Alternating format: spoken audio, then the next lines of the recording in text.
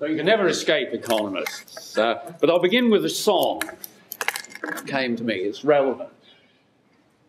I was so much older then, I'm younger than that now. Oh, uh, Bob Dylan does it better, but uh, see, it seemed appropriate. Uh, where was uh, it, it, makes the point that, that Jeff was making. I think it's very important. Can anyone remember what they were doing in the year 2000?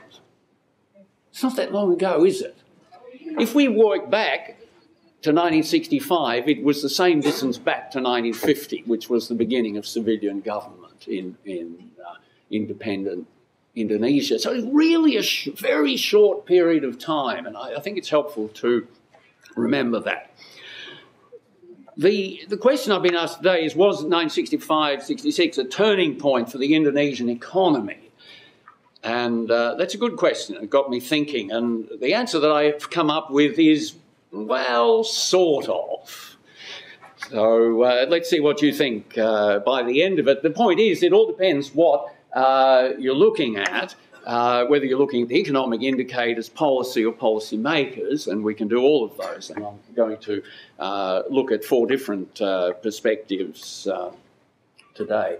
Now, Pierre Eng, I don't see him here, but it's his graph, and I apologise for mangling it, but uh, I was doing that in a little bit of a hurry. But it's helpful to give a long run perspective on where 1965 fits in, in, uh, in the longer term. Because what you notice, if I can walk across here, is that in 1930, Indonesia had reached a peak. It, it, you then had the Great Depression, recovery during the late 30s up to the eve of the war, and then a catastrophic decline through the Japanese occupation and independence. But by the time of 1965, things were not so much below their peak level, and they were certainly very much better than they had been during the 1940s. So, yes, things were crook in Indonesia in 1965. But if you look at the economic indicators, they were nowhere near as bad as they had been only 20 years ago or thereabouts. We're well within living memory. And, and, and that is important in, in terms of, of how people would perceive the situation. Now, in what I go on to talk about, you'll see how the growth trajectory resumes immediate for the years immediately after 1965 things got worse and then they start to pick up at an accelerated rate. So by about 1980 which is about here uh, we're roughly where Indonesia would have been if this trajectory had been continued without all those terrible interruptions of the 1940s. So that just gives a framework for thinking about where we were in 1965 and what happened after that. But in the middle, we'd had these missing decades where really the economy had been going backwards or just recovering from all of those problems. Another way of looking at it, and I think probably the most helpful one from that perspective, is what was really happening in the mid 1960s and with this uh, regime change was not so much a turning point as the last great convulsion before the modern era of growth and development. It was the end of that revolutionary wartime and revolutionary turmoil, and after that, yes, things did change, but it was not any sudden turning point. Now, I'm not going to say too much about the economic situation in 1965 because uh, some of the previous speakers have already painted uh, a vivid enough picture and they were there and I, I was not. Uh, at that time, I, I was uh, still in secondary school. But I do have one memory, and I'll, I'll give it to you briefly for the little that it is worth. I'd been following these events, as I think most of us had been, reading the newspapers, the excellent correspondence that, that we had. Uh, and Bruce Grant, I, I do particularly remember.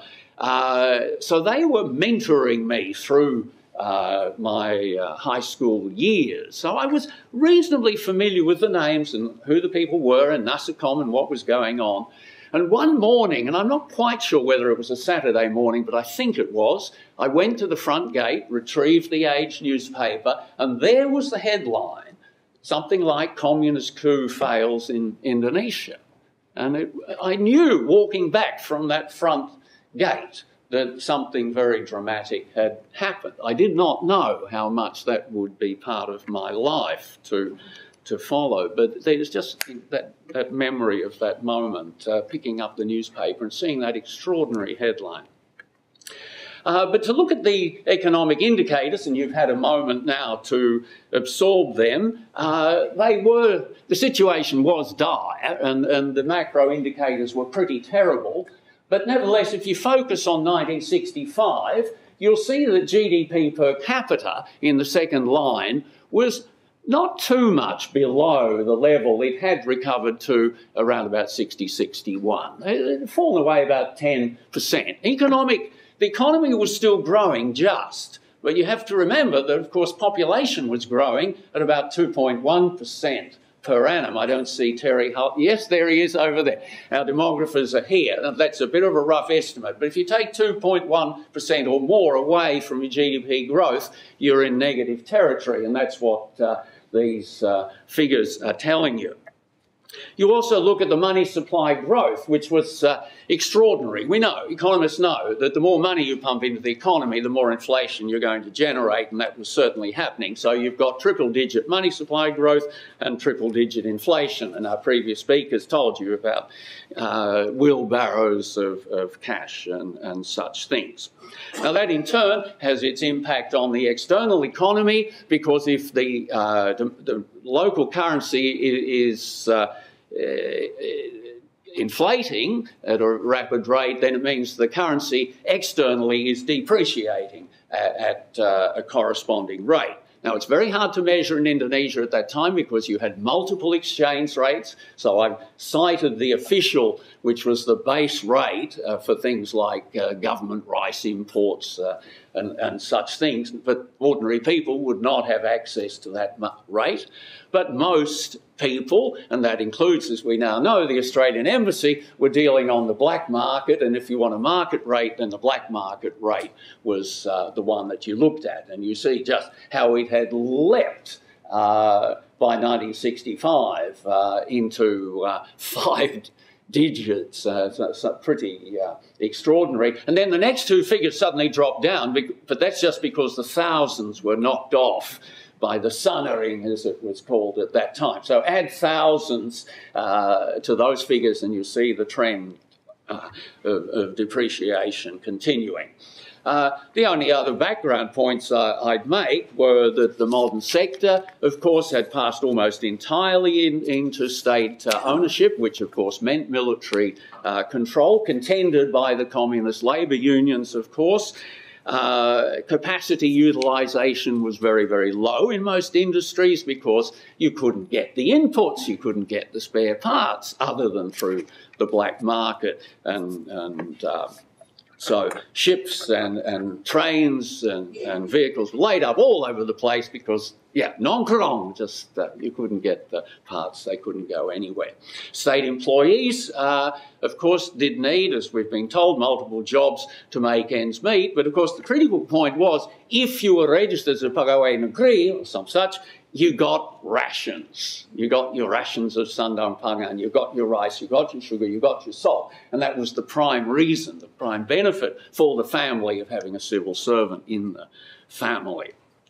In the countryside, uh, particularly in southern Java and Nusa Tenggara, uh, you had poverty uh, and you had malnutrition, later documented in that uh, excellent 1967 article by Napitupulu in the Bulletin of Indonesian Economic Studies. Sorry, 1968. It's worth having a look at. Poor people in Java were not eating rice, they were eating corn or, in many cases, uh, cassava.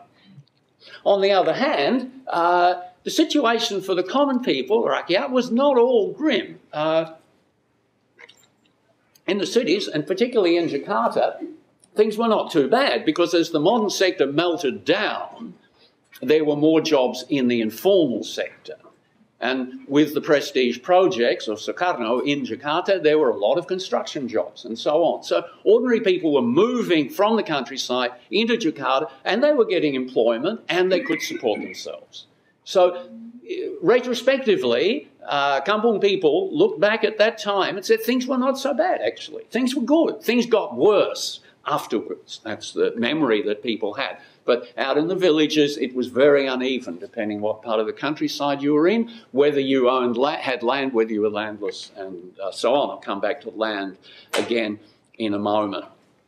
So uh, it was an uneven situation, but by and large, for the people, things were not too bad. They were, as I showed in that earlier graph, very much better than during the 1940s. And above all, as Frank has explained to us, uh, people felt pretty good. There was hope. Indonesia was taking its place. Uh, in the world and out in the villages, there was also hope for the landless that uh, there would, might be land reform in the kampungs. The PKI was helping to maintain popular welfare and look after the people who were not so well off. So Indonesia was muddling along, uh, but it was not a sustainable path.